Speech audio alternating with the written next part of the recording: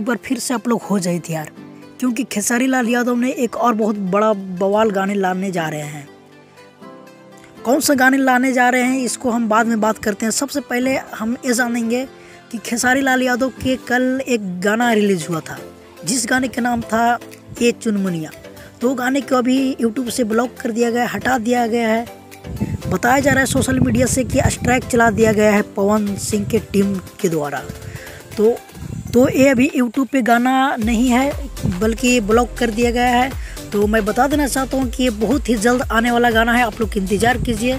जब तक और गाना आया है, लाल का टी शर्ट वही सब जान के प्यार दीजिए, ये सब गाना जान के सुनिए। और बहुत ही बवाल बवाल गाने का शूट भी चल रहा है तो आप लोग टेंशन ना लीजिए, ये सब होते रहता है। स्ट्राइक मारा गया है फेक स्ट्राइक है। ये हट जाएगा, हटने के बाद फिर से पब्लिक कर दिया जाएगा।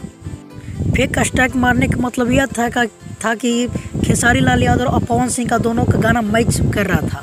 जिसके कारण जिसके कारण अगर बात किया जाए, खेसारी लाल यादव के बहुत ही फास्ट व्यूज़ जा रहा था और पवन सिंह का बहुत स्लो तो इसके चक्कर में नहीं देखा गया तो वो गाना के डिलीट कर दिया गया है। कह सकते हैं तो कुछ ही क्षण में आ जाएगा गाना।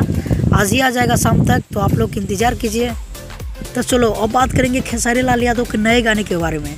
तो खेसारी लाल यादव के नए गाने बहुत ही पीक वायरल हो रहा है नए नए गाने की शूटिंग चल रहा है और एक पीक मेरे सामने आया तो लगाया जा रहा है अनुमान कि ये बराती से रिलेटेड सॉन्ग होने वाला है, जिसका बोल रहेगा बराती में।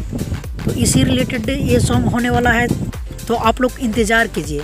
और आप भी खेसारी लाल यादव के दिल से चाहते हैं तो ये वीडियो को लाइक ज़रूर करें और ज़्यादा से ज़्यादा शेयर करें, ताकि सभी ऑडियंस के पता चल जाए। तो भाई लोग, अगर आप ही चाहते हैं कि भोजपुरी का हर खबर सबसे पहले हमारे तक पहुँचे तो हमारे चैनल का आप ज़रूर सब्सक्राइब कर लें, क्योंकि भोजपुरी का हर खबर सबसे पहले हमारे चैनल पे आता है। तो बस, आज के वीडियो में इतने ही। मिलते हैं किसी नए अपडेट के साथ। बहुत ही जल्द, जब तक के लिए जय हिंद, जय भोजपुरी।